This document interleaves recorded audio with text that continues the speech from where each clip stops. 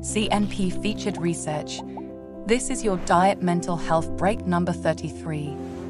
Brought to you by the Center for Nutritional Psychology. Two minutes to learn and be good to yourself.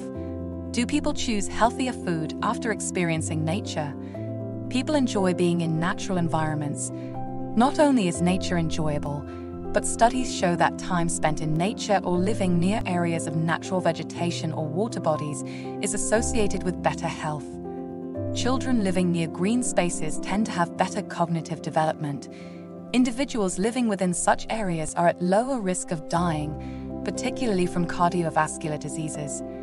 Studies indicate that the overall well being of individuals living near areas covered with vegetation or visiting such areas often is also better. But do nature experiences affect food choices?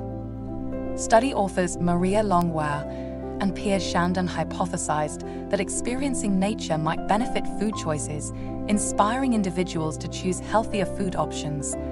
More precisely, their expectation was that nature exposure increases the feelings of connectedness to nature, leading to healthier attitudes and an increased respect for one's body.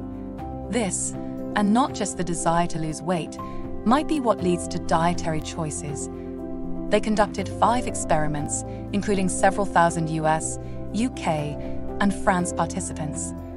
Participants either walked through or imagined various natural or urban environments in these experiments. They selected the food they would like to eat afterward. In all five experiments, a general tendency of individuals exposed to nature to select healthier food choices persisted. Participants who walked through nature imagined it or viewed pictures of it were likelier to choose healthier food options. Also, when given a choice between healthy and dietary foods, participants exposed to natural environments were likelier to choose healthy options. The findings indicate that weight loss interventions and other programs aimed at promoting healthy dietary habits should consider individuals' environment and everyday experiences with nature. Our thanks to Maria Langlois and her colleague for conducting this informative analysis. This Diet Mental Health Break is brought to you by the Center for Nutritional Psychology, CNP.